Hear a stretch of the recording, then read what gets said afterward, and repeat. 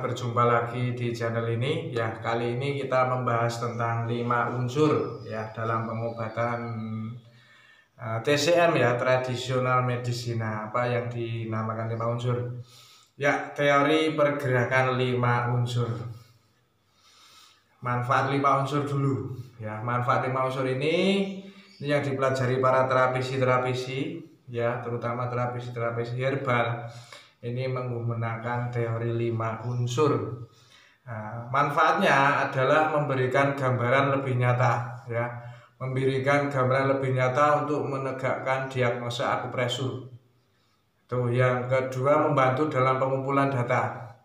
Ini untuk menegakkan diagnosa akupresur. Ini bisa terkait pengumpulan data menggunakan metode atau teori gerakan lima unsur ini bersama dengan teori yin dan yang ini fungsi organ sistem meridian dan peng, apa namanya penyebab penyakit ini membuat suatu kesimpulan diagnosa. Ini menggunakan teori lima unsur.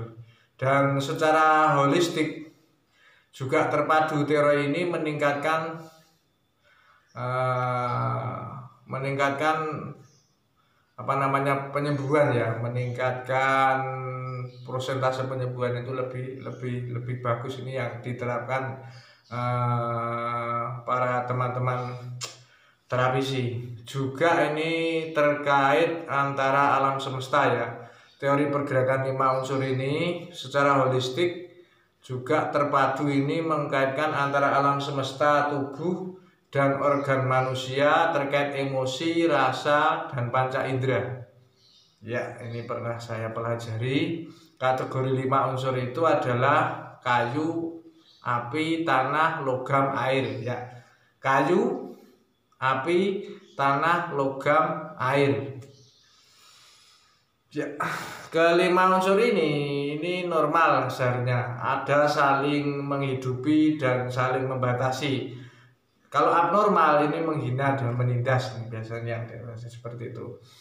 Ya, nah terus unsur kayu. Ini apa yang di eh, dari organ tubuh kita apa yang termasuk unsur kayu? Ini saya sampaikan unsur kayu itu adalah hati dan kantong empedu. Nah, hati itu mempunyai sifat yang menyukai lingkungan luas, tidak mudah ditekan, juga tetap senang berkembang. Ya senang berkembang. Dengan leluasa mempunyai fungsi melancarkan. Hati itu melancarkan semuanya hati sangat kompleks manfaat eh, atau fungsi hati itu. Ini pohon juga mempunyai sifat selalu ingin hidup di alam bebas ya.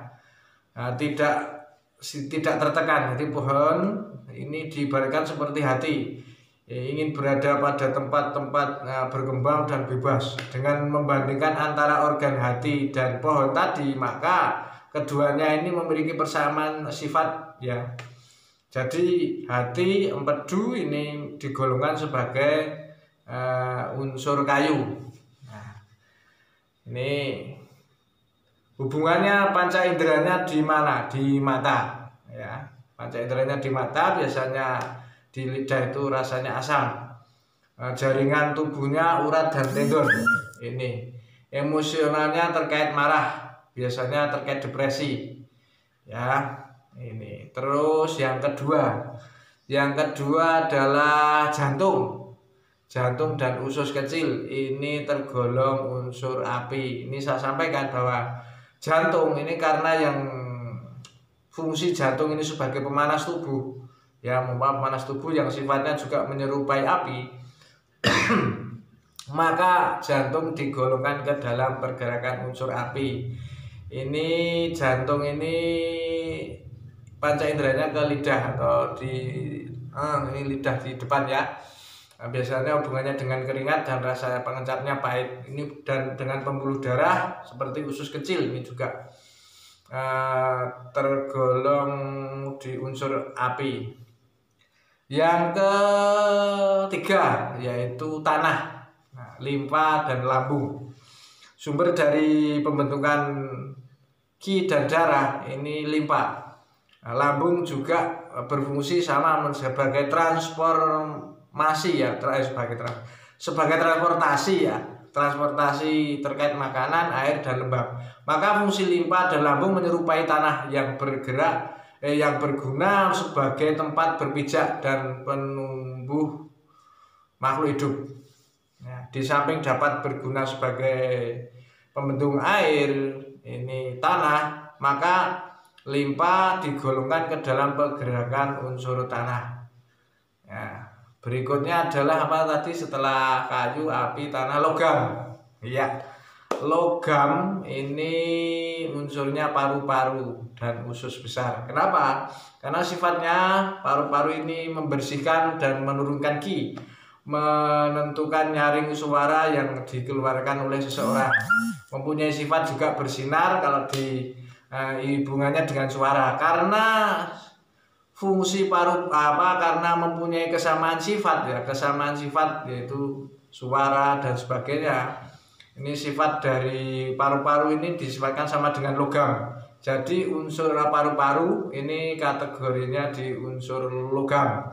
Ya hubungannya dengan hidung ingus biasanya rasanya pedas. Gitu.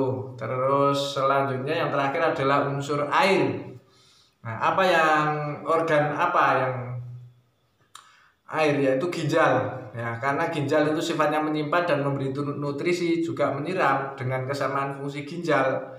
Dan kantong kemih ini sifat kesamaan dengan air maka ginjal digolongkan untuk pergerakan unsur air. Nah dari lima unsur tadi mungkin bisa menjadi gambaran menjadi kalau orang Jawa ini otak atik ini terkait eh, teman-teman uh, terapisi untuk membantu uh, fungsinya. Yang saya kembali sampaikan bahwa fungsinya mempelajari lima unsur ini adalah memberikan gambaran lebih nyata untuk menegakkan diagnosa akupresur. Jadi harus pintar mendiagnosa akupresur membantu dalam pengumpulan data untuk menegakkan diagnosa akupresur. Juga bersama dengan teori Zinjan ini berfungsi untuk uh, memahami terkait penyebab penyakit, membuat kesimpulan diagnosa dan ini sangat bagus membantu untuk uh, memberikan peresepan yang tepat untuk pasien-pasien kita. Demikian saya sampaikan terkait uh, teori pergerakan lima unsur. Apabila ada salah saya mohon maaf. Semoga bermanfaat. Assalamualaikum warahmatullahi wabarakatuh.